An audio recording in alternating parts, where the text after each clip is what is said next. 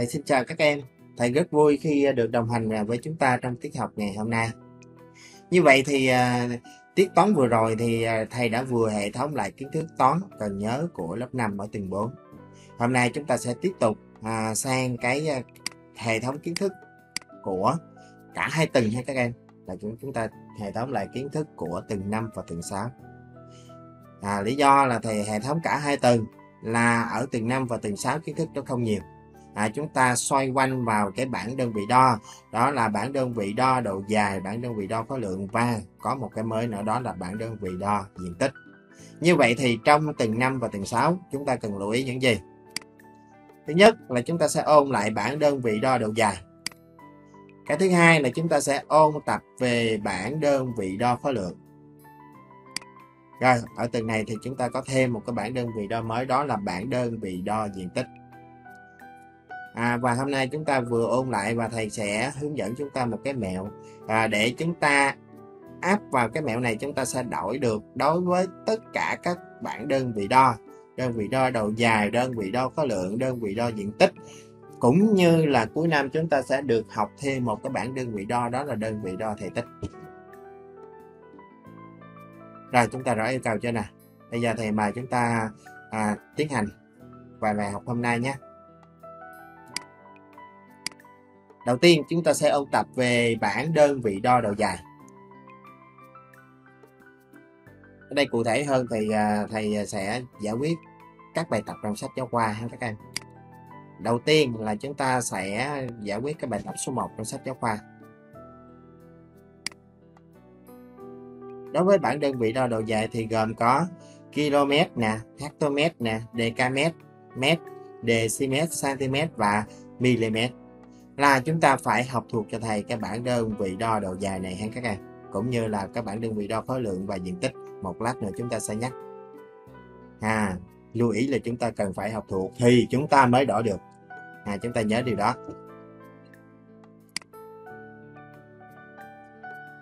Rồi, ở đây chúng ta nhận thấy là một mét thì sẽ bằng bao nhiêu dm các em? À là sẽ bằng 10 dm tương tự như vậy thì một km thì sẽ bằng bao nhiêu hectomet nè? À, bằng 10 rồi 1 hectomet thì sẽ bằng bao nhiêu decamet? À, bằng cũng bằng 10 và 1 decamet thì cũng bằng 10 mét.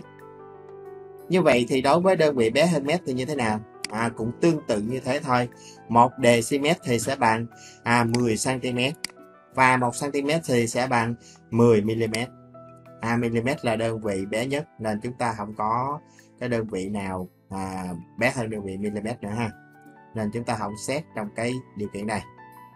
Như vậy thì từ đây chúng ta nhận xét như thế nào?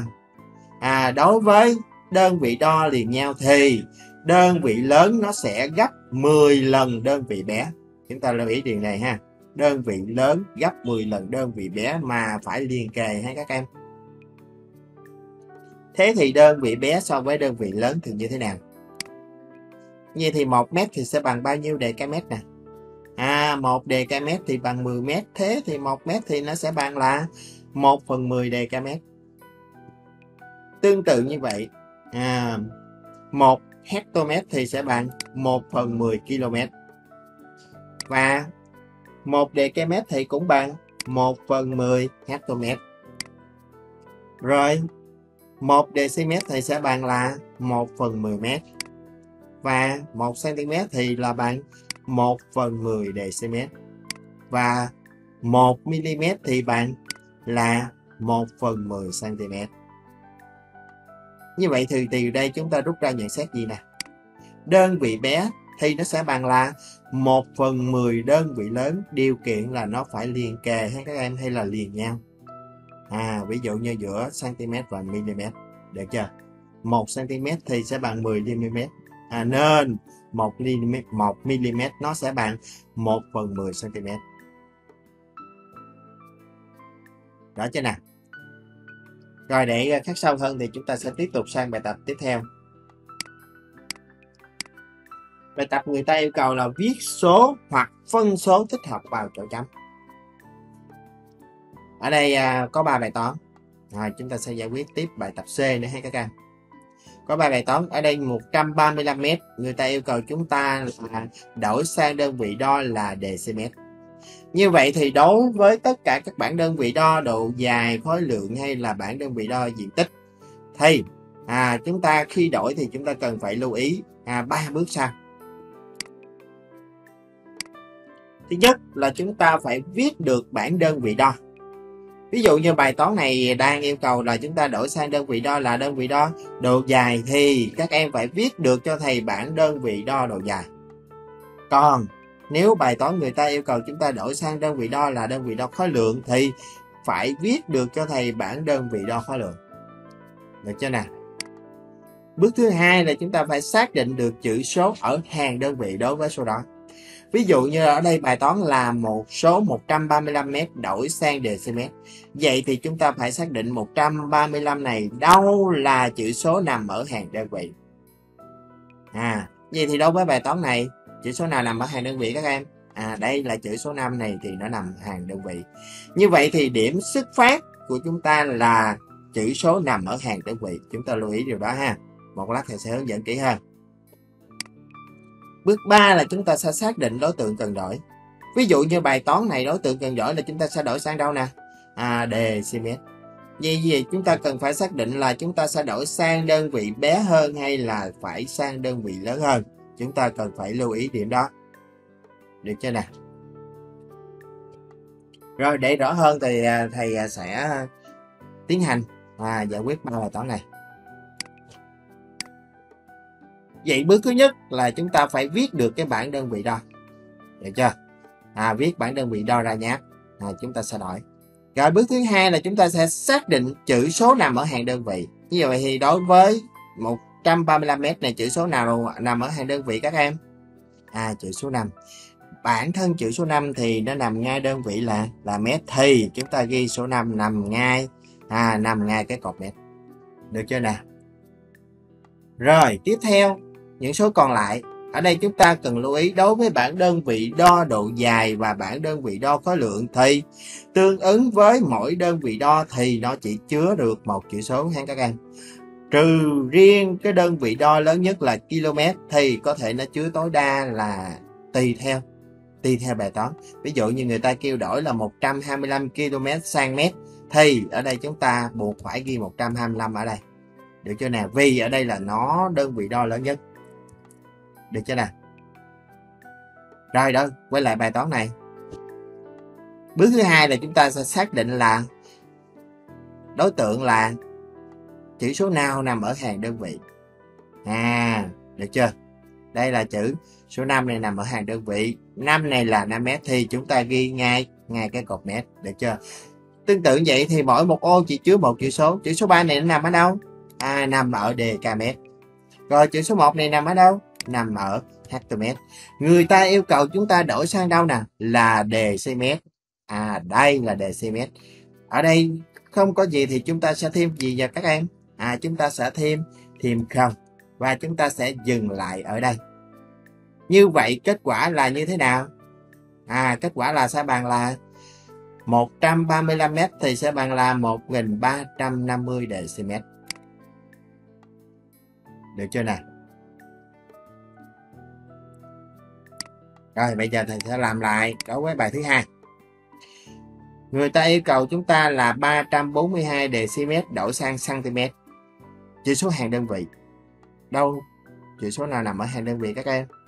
À, chữ số 2 này nó nằm ở hàng đơn vị. hai này là 2 dm. À, 2 dm chúng ta sẽ áp vào bảng đơn vị đo 2 dm. Chúng ta sẽ ghi số 2 ở đây. Rồi chữ số 4 thì cứ tương tự. À, 4 nằm ở đây. Và chữ số 3 thì nằm ở đâu? Nó nằm ngay dkm người ta yêu cầu chúng ta đổi sang đâu nè? À sang cm thì chúng ta xác định coi cm là ở đây. À vậy thì ở đây không có gì thì chúng ta thêm vào chữ số gì nè? Thêm vào chữ số 0 được chưa? Vậy thì kết quả là 342 dm thì sẽ bằng bao nhiêu cm các em? Bằng 3420 cm được chưa nè? Rồi, bây giờ tôi sẽ làm bài thứ ba. 15 cm à, bước thứ hai là chúng ta xác định à, chữ số nào nằm ở hàng đơn vị. Chữ số nào các em? À chữ số 5 này nằm ở hàng đơn đơn vị. 5 này là 5 gì? À 5 này là 5 cm vậy thì chúng ta viết số 5 này nằm ngay cột nào các em?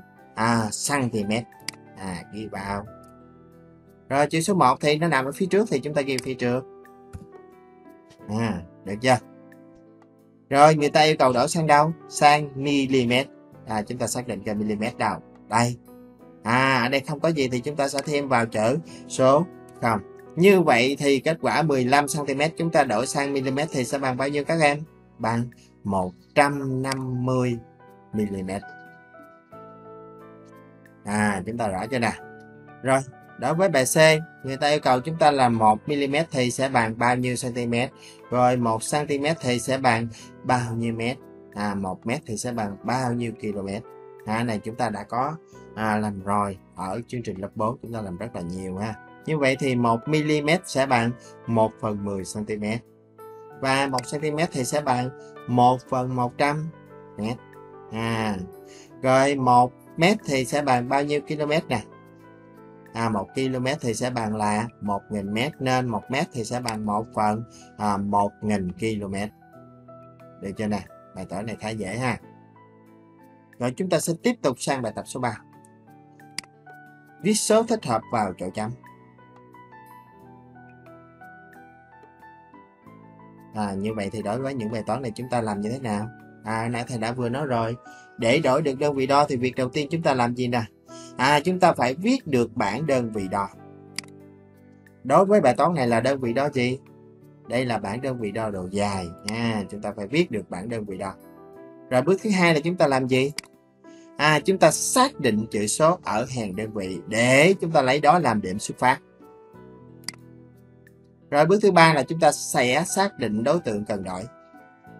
À, chúng ta sẽ à, ghi vào ba bước này chúng ta sẽ thực hiện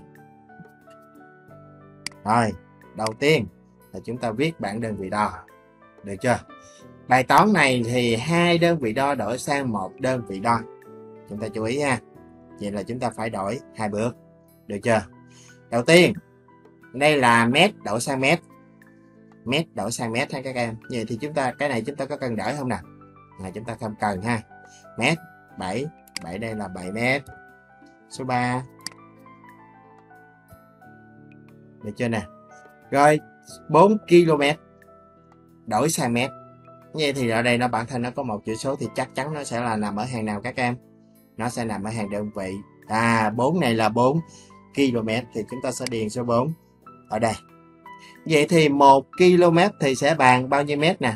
Là bằng 1 nghìn mét. Vậy 4 km thì sẽ bằng bao nhiêu các em? Sẽ bằng 4 nghìn mét. Được chưa? 4 nghìn mét cộng với 37 mét thì sẽ được là à 4.037 km à, vậy ha. Nhắc lại ở đây thì chúng ta sẽ đổi 4 4 km thì sẽ bằng là 4.000 mét cộng với 37 thì sẽ được là 4.037 mét. Tiếp theo 8 mét 12 cm chúng ta sẽ đổi sang cm đơn vị cần đổi là cm ở đây 8 m và 12 cm bản thân 12 cm thì chúng ta có cần đổi không các em? À không ha. 8 m bây giờ thầy sẽ hướng dẫn cách ngược lại ha. 8 m chúng ta đổi đơn vị lớn trước.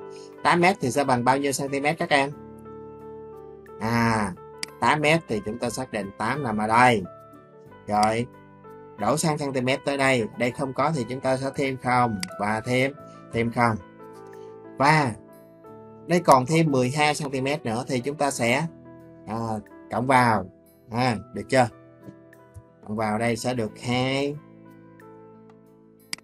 và đây sẽ được một. Như vậy kết quả bài toán này sẽ được là bao nhiêu? 812 cm được chưa? Tiếp theo bài toán này người ta yêu cầu chúng ta là đổi 354 dm sang hai đơn vị đo là mét và dm đây là hình thức đổi khác nữa hay các em thì chúng ta cũng tuân theo cái các bước đó thôi bước thứ nhất là chúng ta viết lại bảng đơn vị đo à bước thứ hai là chúng ta xác định chữ số ở hàng đơn vị như vậy đối với số 354 này à, đâu là chữ số nằm ở hàng đơn vị các em à chữ số 4 này nằm ở hàng đơn vị được chưa 4 này là 4 gì các em? 4 decimet. À, vậy chúng ta điền vào 4. Rồi chữ số 5 này nằm ngay, cột mét. Rồi chữ số 3 này nằm ngay, cột decamet. Rồi người ta hỏi chúng ta là 354 decimet này sẽ bằng bao nhiêu mét và bằng bao nhiêu decimet? Thì ở đây là decimet thì sẽ được là là 4. Rồi mét là bao nhiêu các em? Là 35. Vậy kết quả là sẽ bằng 35 mét và 4 decimet. Được chưa nào? Tương tự vậy thì đối với bài tiếp theo. Bây giờ các em hãy thử dừng video và chúng ta sẽ đổi cho thầy bài này. Xem kết quả có giống của thầy hay không nha. Xem chưa nào? Rồi bây giờ à, chúng ta sẽ tiến hành kiểm tra lại coi kết quả của chúng ta có giống kết quả của thầy hay không ha. Với số 3040, chúng ta sẽ xác định chữ số nào nằm ở hàng đơn vị nè.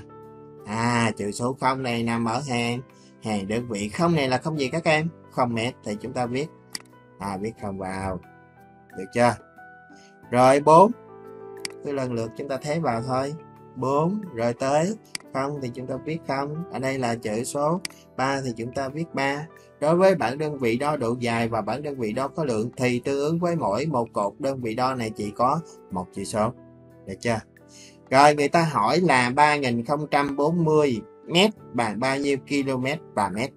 À, thì ở đây thì chúng ta thấy là gì? Được bao nhiêu km các em? À, được 3 km. Và mét thì được bao nhiêu mét các em? À, được 40 mét. thì kết quả là sẽ bằng 3 km và 40 mét. Được chưa nào? À, như vậy à, thầy và các em đã vừa ôn lại về bảng đơn vị đo độ dài và thầy cũng đã vừa hướng dẫn chúng ta cái mẹo để chúng ta đổi à, đối với tất cả các bài toán à, về cái lĩnh vực là và đổi đơn vị đo. Rồi chúng ta sẽ áp dụng cái cách này đối với bảng đơn vị đo khối lượng thì như thế nào hay có giống hay không chúng ta sẽ quan sát đầu tiên chúng ta cùng ôn lại về bảng đơn vị đo khối lượng vậy thì em nào hãy nhớ lại cho thầy biết coi bảng đơn vị đo khối lượng thì lớn hơn kg là những đơn vị nào các em à lớn hơn kg thì gồm có tấn tạ và yến rồi bé hơn kg là gồm những đơn vị nào thì gồm có hectogram, decagam và và gam. Được chưa? Rồi chúng ta xét xem coi đơn vị lớn so với đơn vị bé liền kề thì nó như thế nào, nó có giống với bản đơn vị đo đầu dài hay không ha. 1 kg thì sẽ bằng là 10 hectogam. Rồi 1 tấn thì sẽ bằng bao nhiêu tạ các em? Sẽ bằng 10 tạ. Tương tự vậy, 1 tạ thì sẽ bằng 10 yến. Rồi 1 yến sẽ bằng 10 kg. Rồi 1 hectogam thì sẽ bằng 10 đề decagam. Và 1 decagam thì sẽ bằng 10 gram. Được chưa? Như vậy thì từ đây chúng ta cũng có nhận xét gì nè. Đơn vị lớn sẽ gấp 10 lần đơn vị bé liền kề. Được chưa nè? À vậy thì nó so với bản đơn vị đo độ dài nó có giống không các em? À cũng giống ha các em. Còn đơn vị bé một tạ thì sẽ bằng 1 phần 10 tấn. Vì 1 tấn bằng 10 tạ nên một tạ thì sẽ bằng 1 phần 10 tấn. Tương tự như vậy, một yến thì sẽ bằng 1 phần 10 tạ. Và 1 kg thì sẽ bằng 1 phần 10 yến. Rồi 1 hectogram thì sẽ bằng 1 phần 10 kg. Rồi 1 decagram thì sẽ bằng 1 phần 10 hectogram Và cuối cùng 1 gram thì sẽ bằng là 1 phần 10 đề cả gam. Được chưa nè? Vậy thì từ đây chúng ta có nhận xét tiếp theo là gì? Đơn vị bé sẽ bằng 1 phần 10 đơn vị lớn liền kề ha các em. Như vậy thì đối với bảng đơn vị đo độ dài và là bảng đơn vị đo khối lượng nó có giống nhau không các em? À, này hoàn toàn giống nhau ha. Như vậy thì cách đổi uh, nó có giống nhau không nè? A cũng là giống nhau. Vậy thì tương ứng với mỗi một cột ở bảng đơn vị đo khối lượng thì nó cũng chứa bao nhiêu chỉ số các em? Khi tiếp chúng ta đổi. À, nó cũng chứa một chữ số thôi.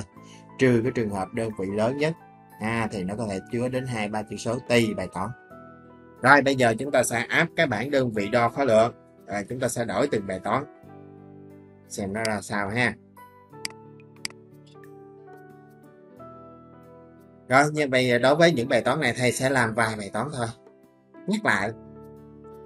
Bước bước thứ nhất là chúng ta phải viết được bảng đơn vị đo. Đối với bài này thì là người ta yêu cầu chúng ta đổi sang đơn vị đo khối lượng thì chúng ta phải viết được bảng đơn vị đo khối lượng. Cái thứ hai là chúng ta cũng xác định được chữ số ở hàng đơn vị.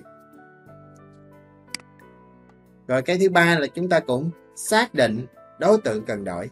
À, chúng ta sẽ định hình xem à, chúng ta đang đổi từ đơn vị lớn sang đơn vị bé hay từ đơn vị bé sang đơn vị lớn hay các em.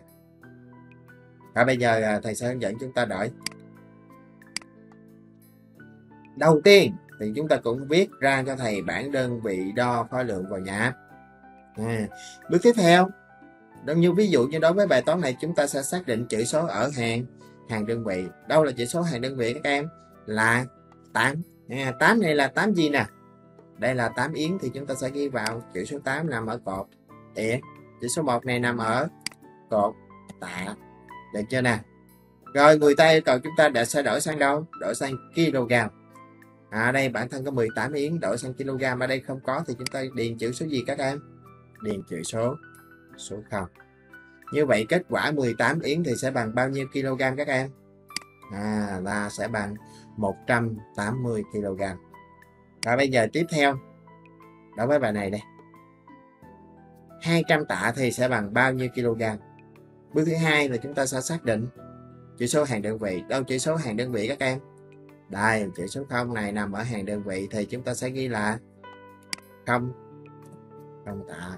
À 20 này bắt buộc ha. Đây là cái đơn vị đo lớn nhất thì chúng ta sẽ ghi đây 20 bài toán yêu cầu chúng ta sẽ đổi sang đâu các em?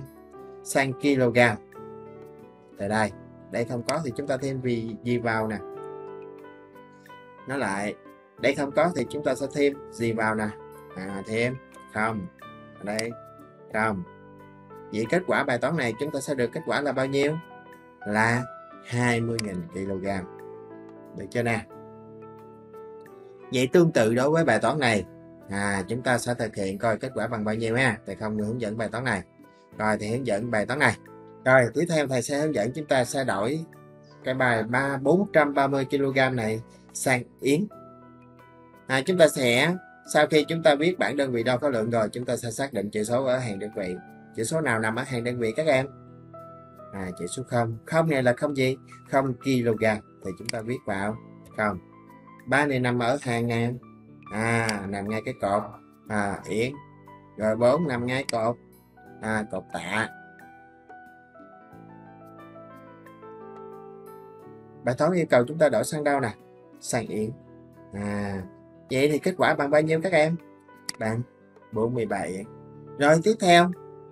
Thầy sẽ hướng dẫn câu xoay này. Đối với bài 2.500 kg và bài 16.000 kg chúng ta sẽ tương tự chúng ta cũng đổi cho thầy ha. Rồi thầy hướng dẫn bài này. À, 2 kg 326 g đổi sang gam à, chúng ta cũng xác định sau khi chúng ta viết bản đơn vị đo khối lượng thì chúng ta sẽ xác định à, chữ số ở hàng đơn vị 6 này là 6 gram à, chữ số chữ số 6 này nằm ở hàng đơn vị rồi chúng ta điền vào 6 thôi.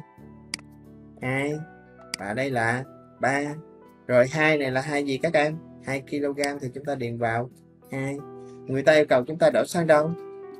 À, đổi sang gam. Vậy thì chúng ta sẽ ra kết quả là 2.326 gram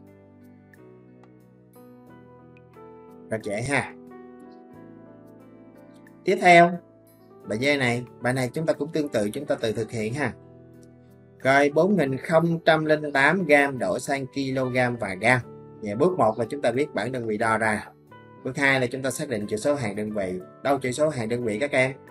À chữ số 8 này nằm ở hàng đơn vị nè. 8 này là 8 gì nè? Là 8 gram chúng ta ghi vào. Rồi không rồi không tiếp theo. Rồi chữ số 4 rồi người ta yêu cầu chúng ta đổi sang kg và gam. Như vậy thì ở đây có được mấy mấy kg nè? Là 4 rồi mấy gam? À, 0 0 và 8 như vậy thì sẽ chúng ta sẽ được kết quả là 4 kg và 8 gam. Được chưa? Vậy thì đối với bài toán tương tự này thì chúng ta cũng thực hiện. Đổi cho thầy luôn như vậy thầy đã vừa hướng dẫn chúng ta về à, bảng đơn vị đo độ dài à, bảng đơn vị đo khối lượng và cách à, để chúng ta đổi à, từ đơn vị này sang đơn vị kia. À, chúng ta sẽ tiếp tục sang cái bảng đơn vị đo tiếp theo là bảng đơn vị đo diện tích. À, chúng ta sẽ phân ra à, đơn vị lớn hơn mét vuông và bé hơn mét vuông các em. Bé hơn mét vuông thì gồm có à, này là chúng ta sẽ đọc là decimet vuông. Và đây là cm vuông và đây là mm vuông. Còn lớn hơn mét vuông thì gồm có km vuông hectomet vuông và decamet vuông. À, như vậy thì bảng đơn vị đo diện tích này nó à, giống với cái bảng đơn vị đo độ dài nhưng mà nó khác ở chỗ ký hiệu à, ở trên đầu mỗi đơn vị đo thì có chữ số 2 à, nếu mà chúng ta thuộc cái bảng đơn vị đo độ dài thì chúng ta phải sẽ ghi được bản nguyên đơn vị đo diện tích thôi. À, bản nào chúng ta chưa thuộc thì chúng ta ghi ra một loạt bản đơn vị đo độ dài sau đó chúng ta sẽ thêm số 2 trên đầu thì sẽ ra được bản đơn vị đo diện tích. Được chưa nè? Đó là hình thức chúng ta ghi thôi ha các em. Nhưng mà à, cách đổi thì nó sẽ khác. Như vậy một mét vuông thì sẽ bằng 100 dm vuông. Rồi một dm vuông thì nó sẽ bằng 100 cm vuông và 1 cm vuông thì sẽ cũng bằng 100 mm vuông. Được chưa? Rồi một cây mét vuông thì sẽ bằng 100 mét vuông. Rồi một mét vuông thì sẽ bằng 100 đề ca mét vuông. Và 1 km vuông thì cũng bằng 100 hectare vuông. Ở đây là chúng ta sẽ có một cái đơn vị đo mới là hecta hecta thì nó sẽ bằng với hectare vuông. Chúng ta chú ý điều đó ha các em như vậy thì từ đây chúng ta có nhận xét gì nè? Đối với đơn vị đo diện tích thì nó sẽ gấp 100 lần đơn vị bé hơn tiếp liền. Có nghĩa là những đơn vị liền kề nhau, đơn vị lớn nó sẽ gấp 100 lần đơn vị bé liền kề. Được chưa nè? Còn đơn vị bé so với đơn vị lớn liền kề thì như thế nào? À 1 mm vuông thì sẽ bằng 100 cm vuông. Vậy 1 cm vuông thì nó sẽ bằng 100 mm vuông. Nên 1 mm vuông thì sẽ bằng 100 cm vuông. À, tương tự đối với những cái đơn vị đo còn lại là 1 cm vuông thì sẽ bằng 1 phần 100 dm vuông và 1 dm vuông thì sẽ bằng 1 phần 100 m vuông. 1 mét vuông thì cũng bằng 1 phần 100 dm vuông. Rồi 1 dm vuông thì sẽ bằng 1 phần 100 hectare vuông. Hay bằng 1 phần 100 hecta hecta thì người ta ký hiệu bằng chữ H với chữ A chúng ta chú ý điều đó và 1 mét vuông thì sẽ bằng 1 phần 100 km vuông. Vậy thì từ đây chúng ta có nhận xét gì nè? Mỗi đơn vị đo diện tích bằng 1 phần 100 đơn vị lớn hơn tiếp liền. Như vậy thì đối với cách đổi của đơn vị đo diện tích thì nó sẽ khác với cách đổi của đơn vị đo độ dài và khối lượng ở chỗ. Đối với bảng đơn vị đo diện tích thì chúng ta mỗi một ô hay là tương ứng với mỗi một đơn vị đo thì nó sẽ có hai chỉ số. Chúng ta lưu ý điều đó ha. Còn đơn vị đo độ dài và đơn vị đo khối lượng thì nó chỉ có à nó chỉ có một chỉ số tương ứng với một ô. Chúng ta chú ý điều này. Vậy để cắt sâu hơn thì chúng ta sẽ tiếp tục. À, chúng ta sẽ thực hiện thực hành vài bài toán ha. Ví dụ như ở đây người ta yêu cầu chúng ta là viết số thích hợp vào chỗ chấm. Yêu cầu chúng ta đổi 5 cm vuông sang mm vuông. À, với ba bài còn lại. Vậy thì nhắc lại để đổi được đơn bản đơn vị đo thì chúng ta cần chú ý điều gì nè chú ý ba bước. Thứ nhất là chúng ta viết bản đơn vị đo. Như vậy đối với bài toán này đổi sang đơn vị đo nào? À đơn vị đo diện tích. Cái thứ hai chúng ta cũng xác định được chữ số ở hàng đơn vị cho thầy à cái thứ ba là chúng ta sẽ xác định đối tượng cần đổi. À, có nghĩa là ví dụ như là 5 cm vuông. Ở đây đối tượng cần đổi là chúng ta sẽ đổi sang mm vuông. Và bây giờ chúng ta sẽ thực hành đối với những bài này ha. Đầu tiên thì chúng ta sẽ viết ra cho thầy cái bảng đơn vị đo trước. Ha gồm km vuông, hm vuông, đề ca mét vuông, mét vuông, đề cm vuông, cm vuông và mm vuông. Và chúng ta lưu ý một điều đối với đơn vị đo diện tích thì mỗi một đơn vị đo tương ứng với mấy chữ số các em. Hai chữ số chúng ta lưu ý cho thầy điều này ha. Nó khác với bảng đơn vị đo độ dài và đơn vị đo khối lượng. Rồi 5 cm. À 5 cm vuông. Vậy thì ở đây là 5 là nằm ở chữ số ở hàng hàng đơn vị à, là 5 5 thì chúng ta ghi đây là 5 thôi rồi người ta yêu cầu chúng ta đổi sang đâu bản thân nó là 5 ha các em? Bản thân nó là 5 cm vuông nên chúng ta học có thêm được số 0 ở đây? Được chưa? Rồi mm vuông. À tới đây. À, với lúc nãy thầy đã nói rồi mỗi một ô sẽ tương ứng với hai chữ số. À đây không có thì chúng ta sẽ thêm hai chữ số 0 vào. Được chưa? Lý do ở đây mà chúng ta không thêm ở đây là lúc nãy tại sao thầy nói là vì sao? Mới nãy thầy nói lý do tại sao à, thầy đã nói là mỗi một ô có hai chữ số mà ở đây thầy tiêu điền là một chữ số thôi. Vì à, vì vì bản thân của nó là chỉ có 5 cm vuông thôi. Nếu chúng ta thêm số 0 vào ở đây thì nó trở thành là gì các em? Thành 50 cm vuông rồi. Được chưa? Chúng ta lưu ý điều này ha. Khi chúng ta đỡ xuôi có nghĩa là đổi từ đơn vị lớn sang đơn vị bé. Vậy thì kết quả là sẽ được bao nhiêu các em? À là 500 mm vuông. Được chưa nè? Bài tiếp theo. 12 km vuông đổi sang hectomet vuông. 12 km vuông đơn vị. Hàng đơn vị đâu? À đây là chỉ số của hàng đơn vị. Hai một. Rồi đổi sang hectomet vuông. Một chữ số không đúng không các em? À không đúng ha vì đơn vị đo diện tích thì mỗi một ô nó phải mấy chữ số? Hai chữ số. Như vậy thì 12 km vuông thì sẽ bằng bao nhiêu cm mét vuông các em? À sẽ bằng 1.200 ht mét vuông. Được chưa? Tương tự một cm mét vuông thì sẽ bằng bao nhiêu mét vuông? À chúng ta xác định rồi. Cm mét vuông ở đây đổi sang mét vuông ở đây. À, bản thân nó là một cm mét vuông ha các em. Rồi đổi sang mét vuông ở đây không có thì chúng ta là gì? Một chữ số không, đúng hay không nè? À không đúng, chưa đủ ha. Bài hai. Rồi, mét vuông cũng như vậy thế. Bài hai. À vậy kết quả là nó sẽ bằng bao nhiêu các em? Là sẽ bằng 10.000 mét vuông. 1 hectare mét vuông thì sẽ bằng 10.000 mét vuông. Tương tự 7 hectare mét vuông cũng như thế thôi. 7 mỗi một ô hai chữ số. Vậy kết quả là sẽ bằng bao nhiêu? 70.000 à, mét vuông. Được chưa nào? Là dễ ha.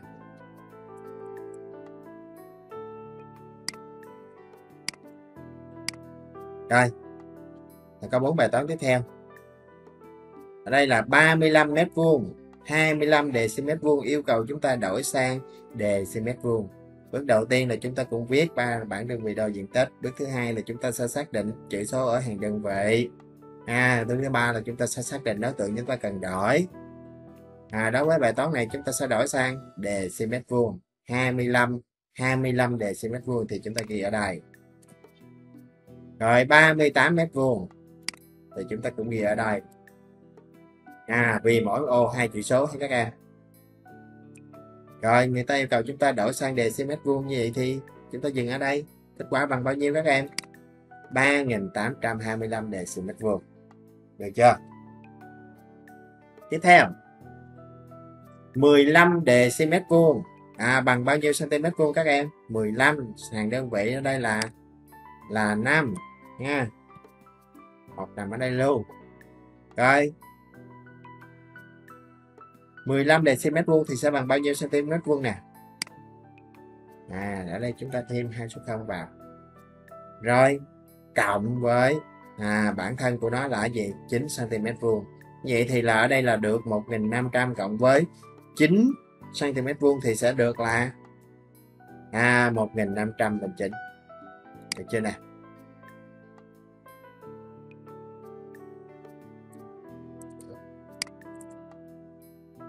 Tiếp theo 198 cm vuông. Người ta yêu cầu đổi sang hai đơn vị đo là decimet vuông và cm vuông rồi sau khi chúng ta biết bảng đơn vị đo diện tích rồi chúng, chúng ta xác định chỉ số nào nằm ở hàng đơn vị nè.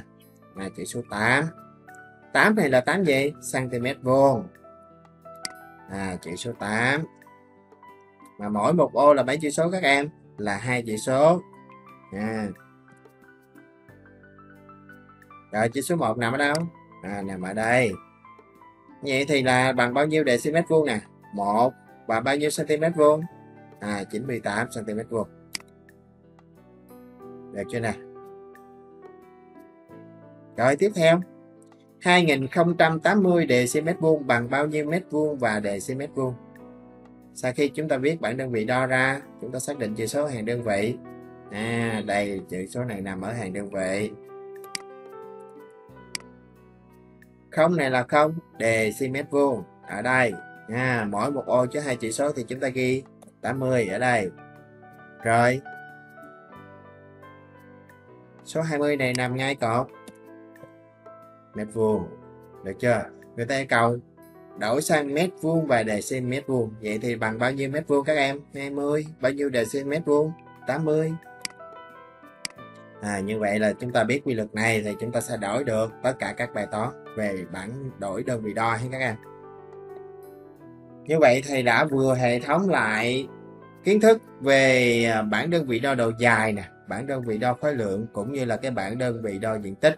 Và thầy cũng đã hướng dẫn chúng ta cách áp vào cái bảng đơn vị đo để chúng ta đổi tất cả các bài toán. Vậy nhắc lại là để đổi được cái bảng đơn vị đo thì chúng ta cần chú ý ba bước cho thầy. Thứ nhất là chúng ta sẽ viết được bảng đơn vị đo tương ứng có nghĩa là khi yêu cầu chúng ta đổi sang đơn vị đo độ dài thì chúng ta phải viết được cho thầy bảng đơn vị đo độ dài. À tương tự khối lượng thì chúng ta phải viết được bảng đơn vị đo khối lượng cũng như diện tích thì chúng ta phải viết được bảng đơn vị đo diện tích. Bước thứ hai, xác định cho thầy chữ số nằm ở hàng đơn vị. Được chưa? Để điểm xuất phát của chúng ta là ngay cái chữ số ở hàng đơn vị đó đối với bảng đơn vị đo độ dài và bảng đơn vị đo khối lượng thì tương ứng với mỗi đơn vị đo. À, chỉ có một chỉ số chứa một chỉ số duy nhất. Còn riêng đối với bảng đơn vị đo diện tích thì mỗi một ô chứa mấy chỉ số hay các em? À là hai chỉ số. Chúng ta chú ý điều này cho thầy.